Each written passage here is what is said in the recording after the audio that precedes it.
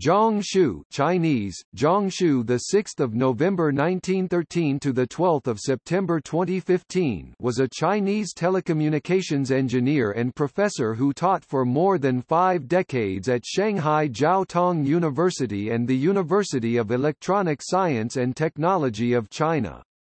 He was the first professor in China to teach radio communications and played a major role in the development of fiber optic communication in the country. He was elected an academician of the Chinese Academy of Sciences in 1980.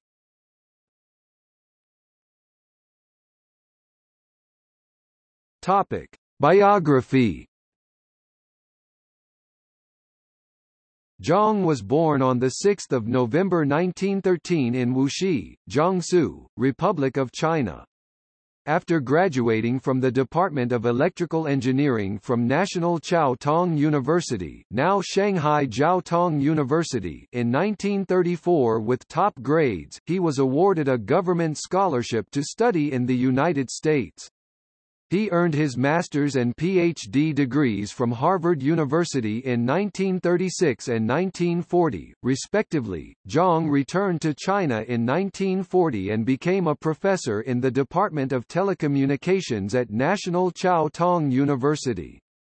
He also taught as an adjunct professor at Tongji University, University of Shanghai, and Utopia University. He was the first professor in China to teach radio communications. In 1956, he was transferred to the newly established Chengdu Institute of Radio Engineering, now University of Electronic Science and Technology of China, where he taught for the next 22 years. He returned to Shanghai Jiao Tong University in 1978 and served as chair of the Electrical Engineering Department of the university.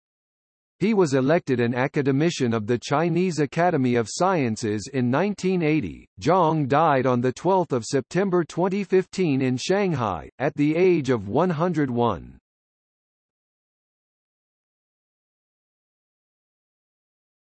Topic.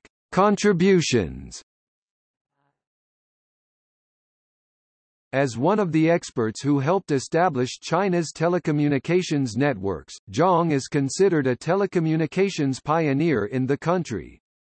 Together with Ye Peida and Huang Hongjia, he played a major role in developing fiber optic communication in China in the 1980s.